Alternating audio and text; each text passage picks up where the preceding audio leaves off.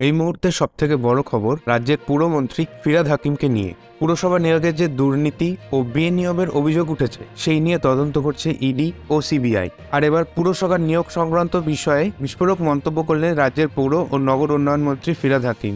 ফিরাদ হাকিমের বক্তব্য, দপ্তরে যদি কোনো অনিয়ম হয়, তাহলে দপ্তর নিশ্চিতভাবেই তা খতিয়ে দেখবে। কিন্তু ব্যাপারটা ঠিক কি, আমি বুঝে উঠতে পারছি না। যতদূর আমি জেনেছি, বিভিন্ন পুরসভায় কিছু দুর্নীতি হয়েছে, কিছু নিয়োগও হয়েছে। সেই নিয়োগ কেন এজেন্সি দিয়ে করল, সেটা আমি বুঝে উঠতে পারলাম না। যেটা নিয়ম, পুরসভা ও জেলা শাসকের অফিস নিয়ে একটি কমিটি গঠন করে এই নিয়োগ করা হয়।